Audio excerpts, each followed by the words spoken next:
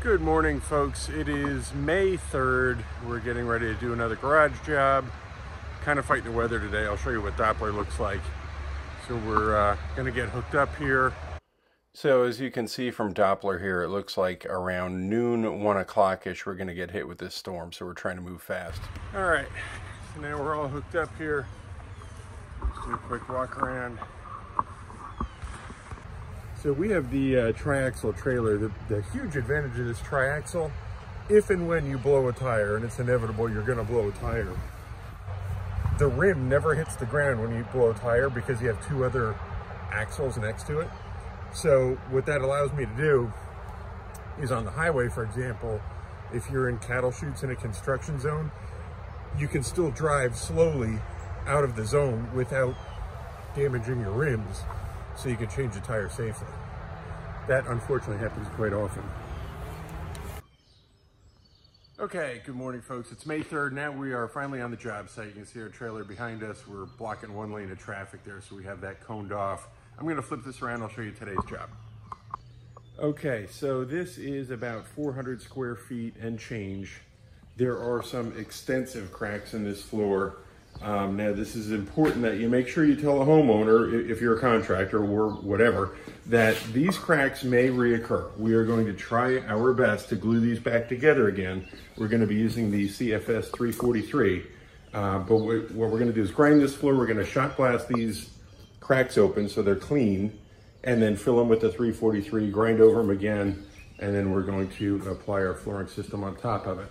Um, so we are kind of fighting the weather today. I'll show you a, a, Doppler clip if I didn't already of what we have coming. So I'll show you how we hang the plastic and uh, try to get around that. Okay, before we can do any job, we need our materials. So we're gonna go into our online store, go into our epoxy floor kits. We're going to need one 500 square foot kit. They would like the SE Camel base color. Flake system, they want B504. Go to 504. And flake size quarter inch. And we are not doing the polyaspartic upgrade. The 504 flake, if we want to zoom in on it, let me see where the 5, the 4 series. Here's the 504 right here. And that's what we are going to be choosing. So we're going to add one of those to our cart. And then the next thing we need is the CFS 343 crack filler, which is in our repair materials. And we're going to click on that. And we're going to get one two gallon kit for that and add to cart. Now that we have our materials, we'll get back to the job.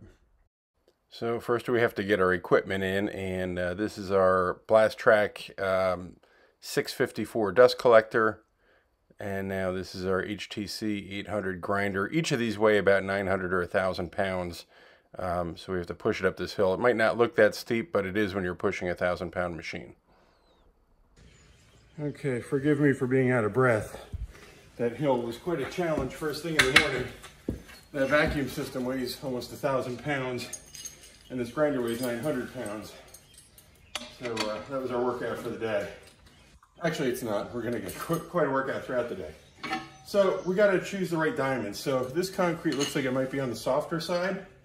So right now we had uh, 40 grit golds, which is meant for hard to very hard concrete. So we're gonna take these golds off, and these are like uh, like quarter turn um, dials on here to hold these plates on. So I took off the golds, and now we're gonna put on the 40 grit reds. So these just go on, take your tool, lock them in place.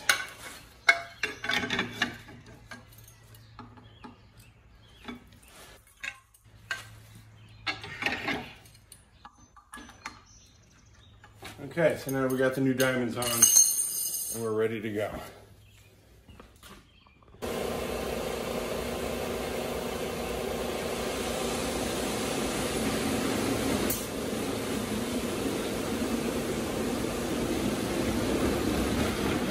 All right, so you can see a little bit of turbulence when uh, Jeff runs over these cracks for the first time. The concrete was offset a little bit. So uh, we're trying to smooth everything out with the grinder and then we have to come back and repair those cracks anyway. So um, this was the right choice. These diamonds are cutting pretty well. It's still a fairly slow grind. We're trying to level everything out as we go uh, just to give a nice smooth floor um, for the finished product so you don't see any of the uh, elevation drops over those cracks. So Jeff's running the, uh, we call it the left edge, he's running the left edge, and I'm starting with the hand grinder. I also ground that front nose really good also. So I'm doing a circular motion with the grinder just to, to get that elevation feathered as I go around here. I know I go off camera a little bit. I'm going left edge all the way around the perimeter. We're going to get the camera reset here in a second. So basically, just getting the rest of the edge all cleaned up, go all the way around, and then we're going to get ready to do these cracks. All right, so now we're getting ready to use the shot blaster. The way this works, there's little steel pellets inside here. See these little, little pellets? They go down through that screen to filter out any debris. And then there's a wheel that spins at, I don't know, eight or 10,000 RPM. So the steel pellets go down, they hit the wheel and it shoots it down into the floor. And that's what we're gonna use to clean these cracks out.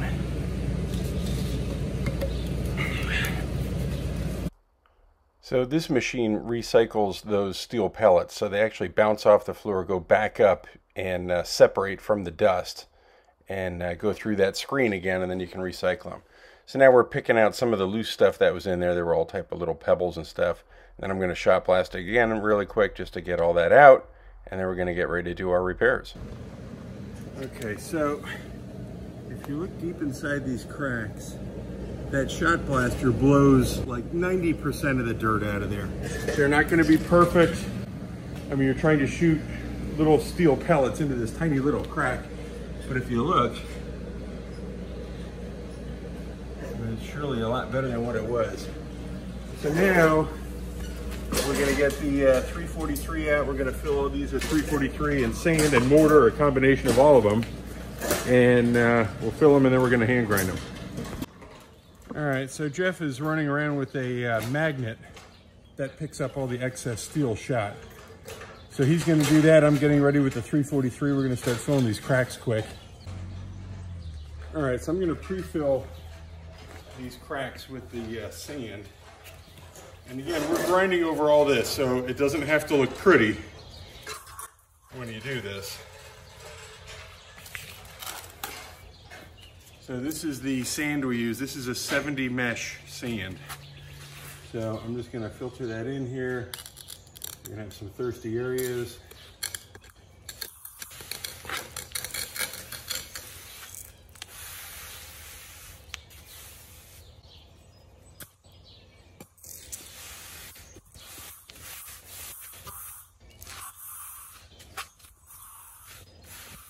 If you have some areas like this that run down, we have um, coarser sand that has like almost smaller like pebbles in it. We'll just pour that in there to help it clot. So Jeff just runs down with the brush, just to, it, it's maybe an eighth of an inch or quarter inch below the surface. It can be flush, it really doesn't matter, but this way here, at least you can fill the trough with epoxy and it stays in there. All right, so we go over all the cracks with the fine sand we fill them. Some of the cracks needed the coarser sand just to clot in the bottom of them. There I'm starting to pour the uh, CFS 343 out. And this stuff likes uh, when you do multiple layers of wet material until it's full. So it's like every minute I come by with another pass until it's full and it stays full and then you're done. So I run over the whole floor here and then I'm going to grind it. Okay, so we got done repairing these cracks. I'm gonna do a close-up here so you can see exactly what the cracks look like now that they're filled. This is the uh, CFS 343. Uh, that material goes in clear, and when it sets, it kind of turns grayish, so you'll see right now. So now you can see this material is gray, so that means it's set and now it is ready to grind. So I'm going to come in here with the hand grinder. I'm going to run over these really quick here to feather these in. These were so offset. These were almost three quarters of an inch offset. We couldn't even run the big grinder in these areas here that I'm showing. So we use the hand grinder. Then there's a couple little areas like right here where you can see the valleys. There was a little paint. I'm just gonna touch those up quick with the uh, hand grinder and that hand grinder, like I always say, it's a Hilti DG150. And I was talking to somebody on YouTube. This is the uh, power inverter for it. It's a DPC 20 power inverter. I don't know if this goes from high voltage to low voltage, but there's the plug from the actual grinder. So you can't plug this thing into a wall. You have to plug it into this box. And I'm under the impression that it converts it from 110 uh, alternating current to like 24 volt DC. But I, I, really don't know that for sure. And it really doesn't say in the specs. It's very vague, but very good grinder nonetheless. All right, I'll set this up. You can watch me grind. Okay, when I grind, I always grind in a circular motion. That's just what I like to do. I grind over all the cracks just to get a good rough surface on it and grind off all the excess epoxy that was on the surface. Jeff's going to do the final vacuuming here and we are going to get ready for our prime coat. Okay, I know this is a little noisy. I always talk about the scratch.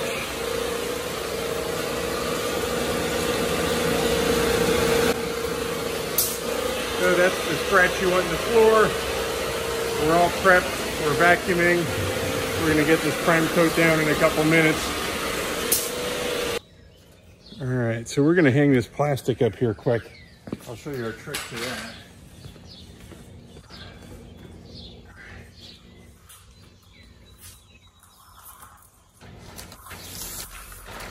So what we do is I buy plastic in four foot wide rolls so you don't have to cut anything. It's impossible to keep a straight edge otherwise.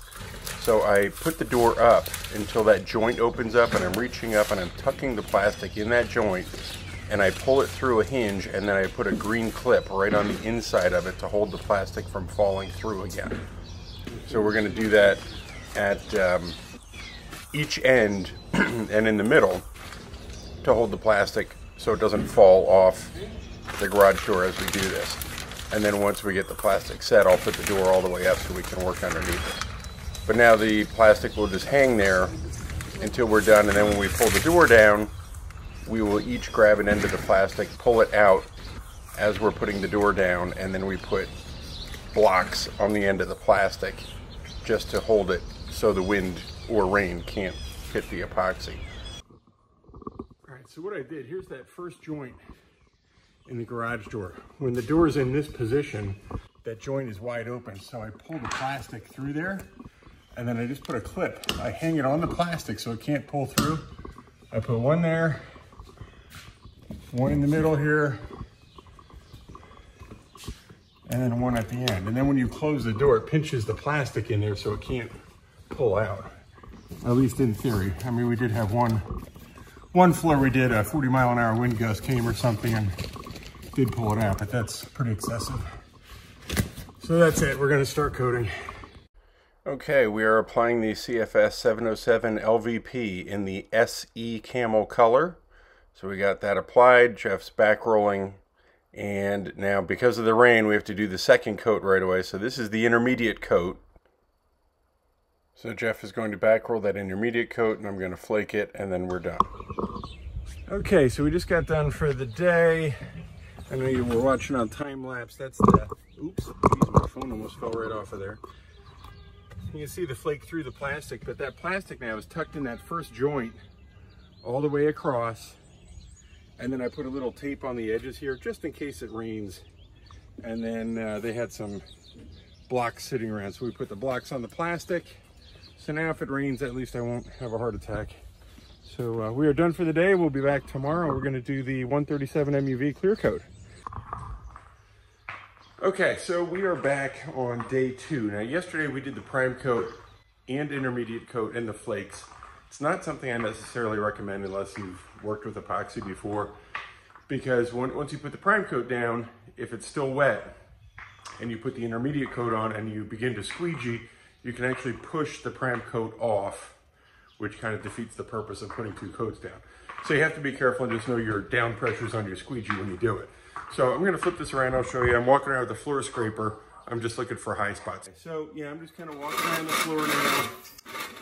I have, I don't know, what is it, 12 or 14 inch scraper. And I'm just looking for random flakes might be sticking up. Also bugs, bugs somehow love this stuff. So I'm just walking around, looking for random areas, and then I'm gonna go around with the vacuum. We have our shop vac here. I'm just gonna suck up any excess flake floating around, and there really is not that much excess flake. This is what I would call a uh, heavy random flake floor. But the beauty of this is most of the flakes lay flat, and if they don't, you can just shave them off like that with a scraper, and you're good to go. So I'm just gonna spend around 10 minutes walking around here, just making sure everything is knocked down, back drag this blade, vacuum, and then we're gonna be ready to put a coat down. So I vacuumed the perimeters, just the excess flake and uh, the, the end wall there and the steps, just, just to get all the excess flakes off. I am wearing spiked shoes. Uh, it rained overnight, so I didn't want to step in there with wet feet. You don't want water puddles on the floor. Um, so finish vacuuming up here, get any, any excess, anything, bugs, whatever, just go around and pay attention to detail. Look for little spots now because it's a lot easier than when you're putting the epoxy down. Okay, so I pour out the CFS 137 MUV parallel with that end wall. Now I squeegee it out. I am going to throw the aluminum oxide out, little pinches again, and then Jeff is going to back roll perpendicular from the way I squeegeed. Okay, so now we applied the 137 MUV. I uh, threw the aluminum oxide in there, little pinches at a time like I always show. Jeff is back rolling now. I'll give you a close-up of that so you can hear it and see it.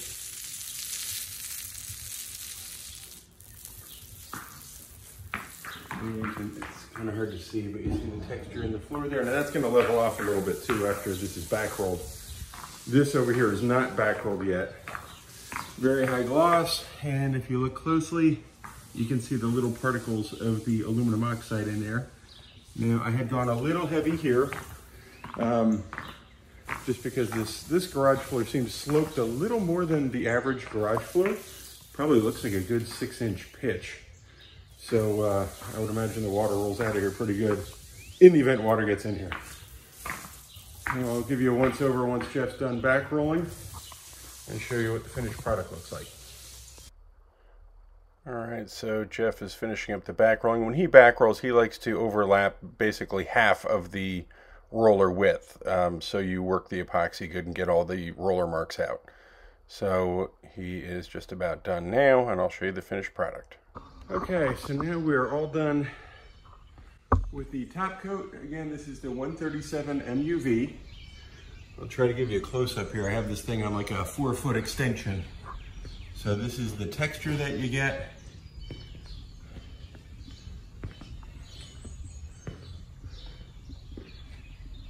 Real high gloss.